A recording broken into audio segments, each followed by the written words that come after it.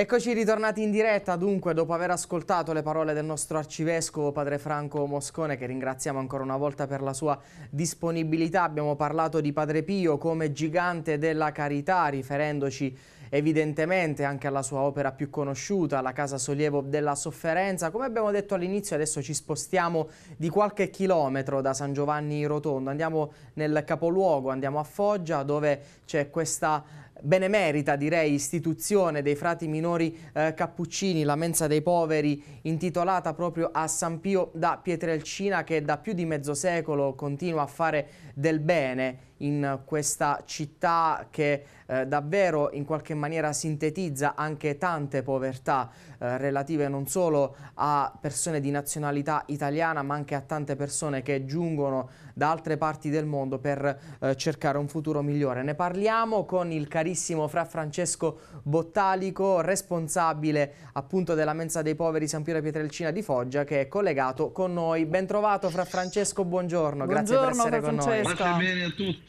pace bene. È sempre un piacere un ritrovarti. Piacere. Spero tu stia bene.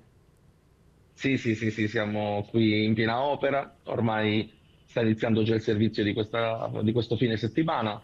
Come vedete alle mie spalle c'è il cuoco che si destreggia tra i fornelli eh, e ormai siamo a dei numeri sempre più grandi, quindi prima che eravamo con il fuoco, i punti dei fornelli dove c'è il fuoco quasi non bastano più per mettere tutte le varie pentole che servono.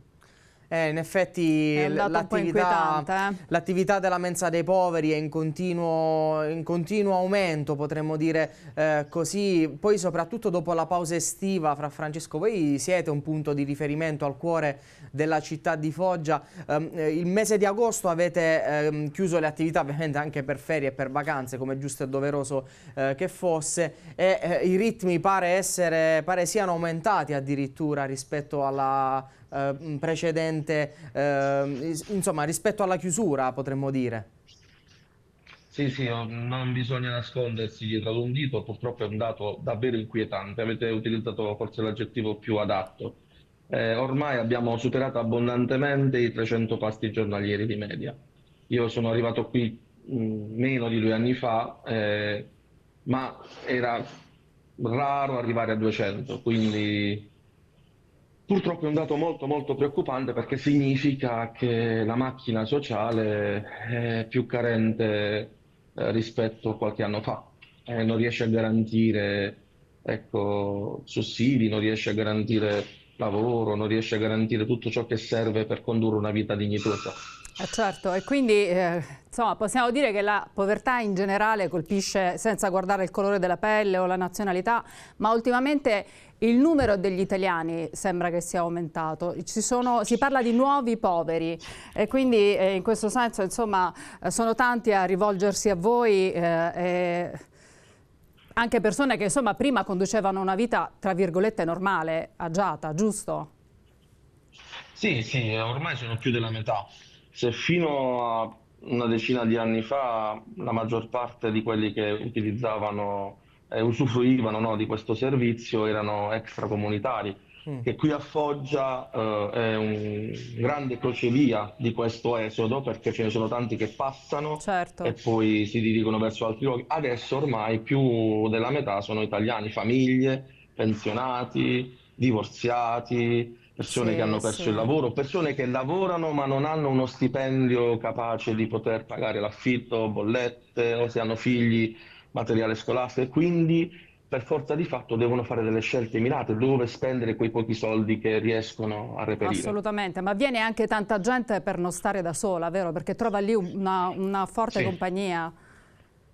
Sì, sì, sì, sì, soprattutto gli anziani vedo eh, che sì. si fermano ben volentieri. Mi riferivo proprio a loro. Sì sì, sì, sì, Anche perché poi la cucina della mensa dei poveri, lo dico eh, anche sorridendo, è buona. Sì, ma stavo eh, guardando perché, i piatti, mi stava venendo eh, fame già, veramente. Ho sentito anche persone che, insomma, il trattamento è buono, possiamo dire così, fra Francesco. Sì, sì, perché una regola vige eh, su tutte, che eh, stiamo servendo Gesù nel povero Gesù si è identificato più che in altre persone, quindi il meglio, tutto ciò che possiamo dare di meglio lo diamo. senza dire no, questo non va bene, forse è troppo. No, non esiste il troppo quando si serve il povero.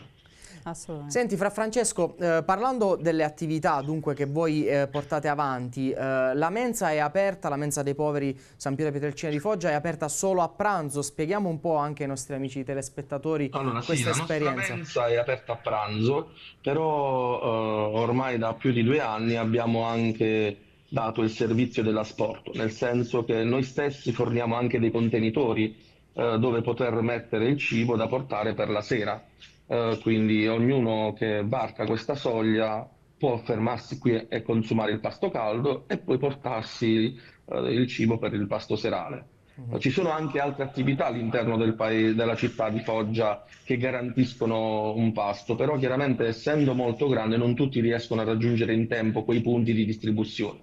Quindi abbiamo pensato di poter fornire loro anche questo servizio. Certo, ed è bello sapere che insomma il popolo si muove eh, eh, nella carità risponde a questa richiesta insomma, della gente che ha bisogno. Oggi vogliamo mettere proprio in risalto questo, lo spirito della carità nel cuore della gente del posto.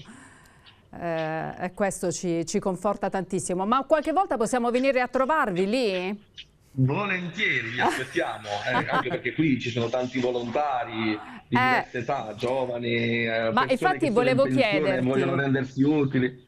Volevo chiederti quante persone ci sono lì ad aiutare, più o meno, a occhio e croce, quanti volontari? Allora, i volontari che gravitano attorno alla mensa sono una trentina, ah, ecco, di però... quelli più assidui. Sì, sì, sì, sì, infatti diventa anche un polo pastorale, non eh è solo certo, un polo caritativo. Assolutamente. Perché Papa Francesco l'ha detto più volte, la nuova evangelizzazione passa attraverso i poveri, perché sono i poveri che poi scardinano quel cuore chiuso, un po' eh, raggrinzito, perché davanti a una persona che soffre eh, inevitabilmente siamo costretti a non rimanere sordi, possiamo fare gli indifferenti fino a un certo punto, poi sì, qualcosa si muove. Ecco. C'è poco da fare, la carità deve essere attiva, se no non è carità. Mm.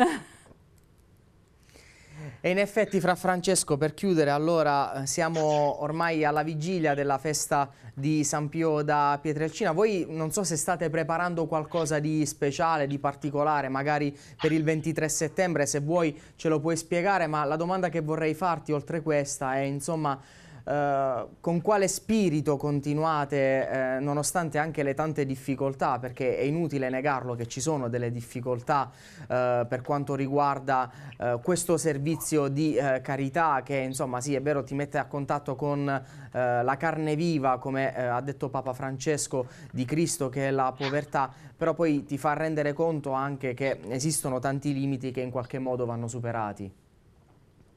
Sì, allora mh, mm, l'idea ecco, per noi di festeggiare San Pio insieme a loro è quella anzitutto di eh, cercare di fare un pasto ancora più buono, ecco.